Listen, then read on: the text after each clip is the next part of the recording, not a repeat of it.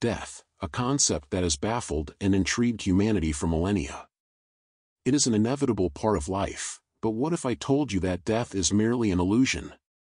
What if I told you that no one actually dies? At first glance, this statement may seem outrageous, but as we delve deeper into the mystical realm of life and consciousness, a fascinating truth begins to emerge. To comprehend the idea that no one actually dies, we must first understand the nature of existence itself. We are not simply physical beings with a finite lifespan, we are spiritual beings having a temporary human experience. Our souls, the essence of who we truly are, are eternal and indestructible. It is this soul that continues on even after our physical bodies cease to function numerous religious and spiritual traditions have embraced this notion of immortality of the soul. From ancient Egyptian beliefs in the afterlife to the concepts of heaven and hell in Christianity, the idea that our consciousness transcends death is deeply ingrained in human culture. Even modern science, with its exploration of quantum mechanics and the nature of energy, supports the idea that energy cannot be created nor destroyed, only transformed. When we think about death, we often associate it with a sense of finality, the end of existence. But what if it is merely a transition? A passing from one state of being to another. Just as a caterpillar undergoes a transformation, emerging as a magnificent butterfly, so too does our soul embark on a new chapter of existence after death.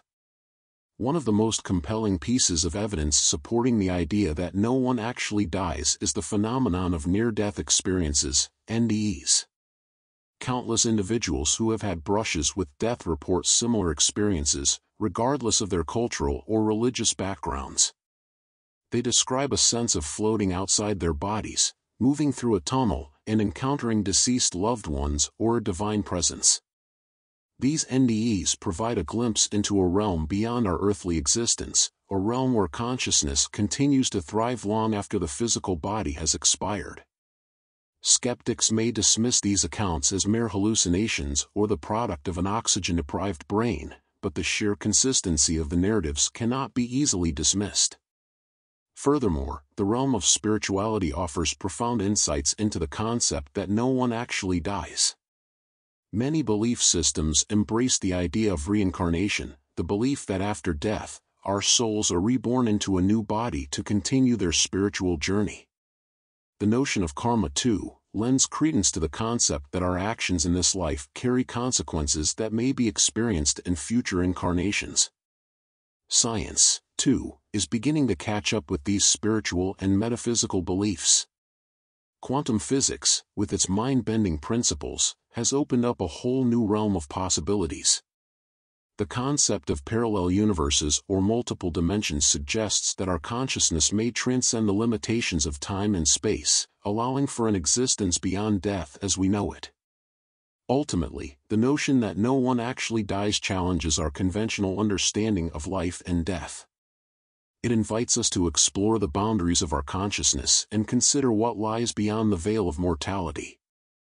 While we may never have concrete proof or a full understanding of what happens when we die, it is a topic that sparks curiosity and fuels philosophical and spiritual inquiry. So, the next time you find yourself pondering the mysteries of life and death, consider the possibility that death is not the end, but merely a transition.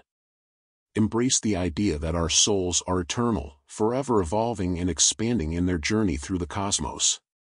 And remember, no one actually dies, they simply embark on a new chapter of existence beyond our moral comprehension.